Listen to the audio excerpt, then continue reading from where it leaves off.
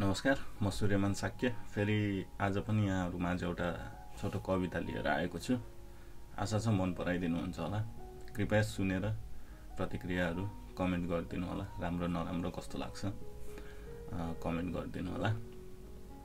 र मेरो कविताको शीर्षक छ देश छोडी आएको नि जुग बितेछ। यसो नजर डुलाए क्यालेन्डरमा। पानाहरू धेरै फेरिसकेछ। आँखी भौँको कुनाबाट छालाहरू नै चौरिन थालेछ। कसलाई सुनाउ म कथा मेरा? कसलाई देखाउ म बेथा मेरा? अब त ओल्ला घरे बडा बानी कान सुन्दैन नरे।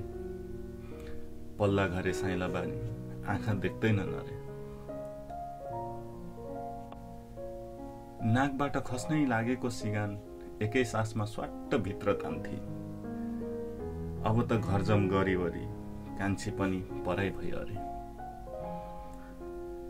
परदेशले त पराई पो बनाइसकेछ।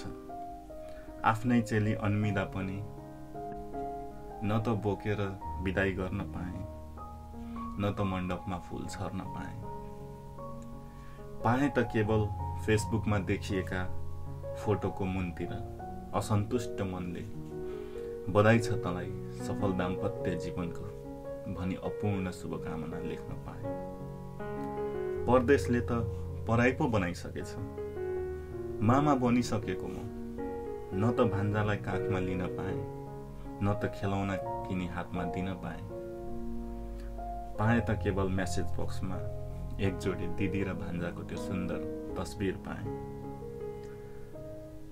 छोरा दौडी नै भइसक्यो तर छोरा दौडी नै भइसक्यो तर न त औँला पक्राएर हिँडाउन नै पाएँ न त घोडा बनेर काँधमा डुलाउन नै पाएँ।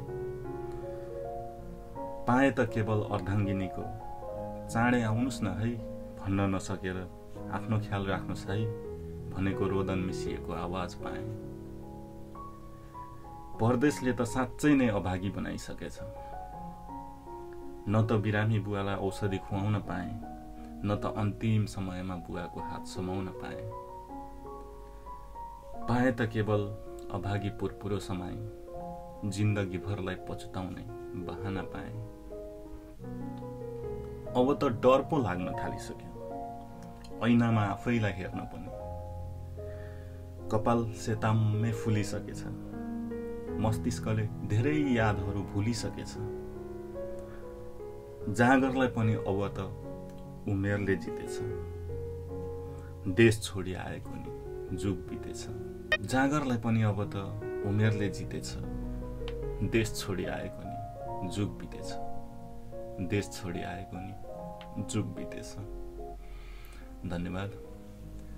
कृपया हजुरहरूलाई कस्तो लाग्छ कमेन्ट गर्नु